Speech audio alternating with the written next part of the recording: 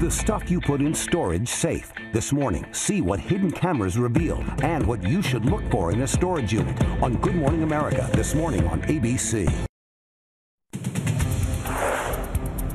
Hello to our fans online. I'm John Muller. And I'm Diana Perez with some of the top stories that we're following on this Wednesday, May 29th. Millions of Americans bracing for another day of severe weather after an outbreak of twisters barreled over the plains. A giant tornado caught on camera as it descended on northern Kansas. It was just one of nearly two dozen reported since the weekend. Not far away, several buildings were flattened by two other tornadoes. No injuries reported there. And in Southern California, part of Disneyland was evacuated after a small explosion. The blast happened in a trash can in the Toontown area of the theme park.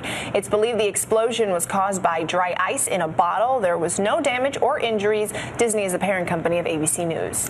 New details this morning about the plot to blow up an Oregon high school and the person who tipped police off. 17 year old Grant Acord made his first appearance by video in court. Police say they found detailed plans for the attack hidden with the bombs. He allegedly wanted to blast music from his car, throw bombs throughout the school, then begin shooting. Several students say they heard Acord talking about explosives. Now, one of them told his mother, and she called police. Friends are calling the man who told his mother a hero for speaking up, and Acord is being held on $2 million bail. Israel. And you've heard the expression pony up to the bar, haven't you? This one takes it a little bit further. This is surveillance tape of a guy wandering through the aisles of a Rhode Island liquor store with his pony. Yes, his pony. Apparently, this wasn't a big deal until that pony decided that he had to go, quite literally. He relieved himself right there on the floor. That's when the store owner got upset, only then, of course, and called police. He was saddled with the mess. He didn't want that. Police ordered the pony's owner to clean it up. The pony and all those bottles, I'm not thinking that's a good combination regardless. Tie your pony up outside. Yeah. Why do you have corral. a pony?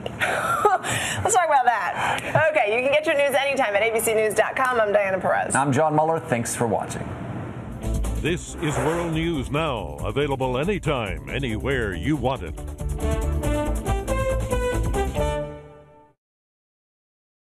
Tonight, we're on the lookout, and we'll do whatever it takes to help you get more out of your money. Ow! Come along with us. On the lookout. Tonight at 10, 9 central on ABC.